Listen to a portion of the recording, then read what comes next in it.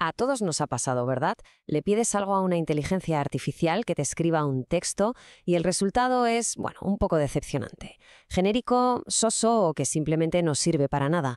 Pues a menudo el problema no está en la IA, sino en cómo le pedimos las cosas. Hay un secreto para pasar de esa frustración a conseguir justo lo que buscamos.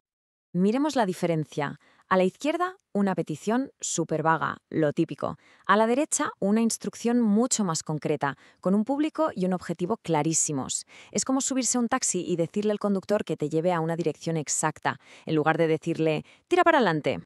Y aquí se ve el resultado, clarísimo.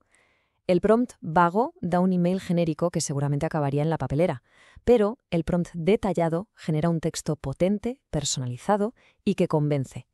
Y esto no es magia, de verdad, es una habilidad que se aprende. La clave es entender un poco cómo piensa la IA. Entonces, ¿cuál es el secreto para conseguir sistemáticamente resultados como el bueno? ¿Cómo podemos pasar de ser novatos a dominar la comunicación con la IA? Pues la respuesta es más sencilla de lo que parece y todo gira en torno a una única idea. Y esa idea es la regla de oro. Hay que tratar a la IA como si fuera un becario o una becaria brillante, superdotada, pero con amnesia. Alguien increíblemente rápido y capaz, con acceso a casi todo el conocimiento del mundo, pero que lo olvida absolutamente todo en cuanto acaba cada tarea. Y ojo, que esto no es una invención nuestra, es una cita directa de la documentación de Anthropic, los que crearon Cloud. Lo dicen ellos mismos, es como un empleado nuevo y brillante que necesita instrucciones explícitas. Esta analogía es la llave para sacarle todo el partido. Es que tiene todo el sentido del mundo. Cuando alguien nuevo llega a un equipo, no sabe cuáles son los objetivos, ni el tono de la empresa, ni de qué va el proyecto. Hay que explicárselo todo. Pues la IA funciona exactamente igual. No tiene ni idea de quiénes somos o qué queremos a no ser que se lo contemos en cada petición. Sabiendo esto, ya podemos empezar a construir el prompt perfecto. Y no, no se trata de escribir más, sino de escribir con cabeza. Y para eso vamos a usar una estructura de cinco partes que funciona de maravilla. Aquí la tenemos. Primero, asignarle un rol. Segundo, definir la tarea. Tercero, y esto es súper importante, darle contexto. Cuarto, enseñarle con ejemplos. Y quinto, especificar el formato de salida. Vamos a ver cada punto, que es muy sencillo.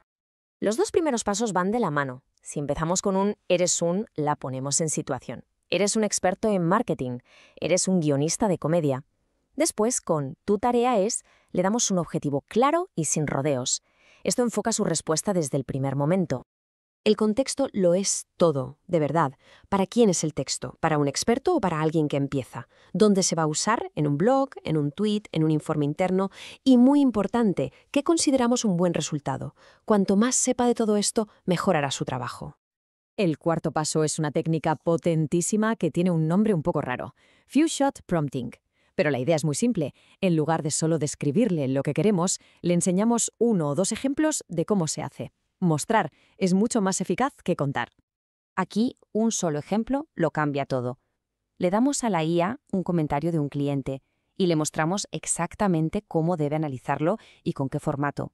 Al momento, pilla el patrón. A partir de ahí, hará lo mismo con cualquier otro comentario que le pasemos. Bien, una vez que controlamos la estructura básica, podemos subir el nivel. Para tareas más complejas, las que necesitan razonar, no basta con decir qué hacer, hay que enseñarle a la IA cómo pensar. Esto se llama Chain of Thought Prompting o razonamiento en cadena.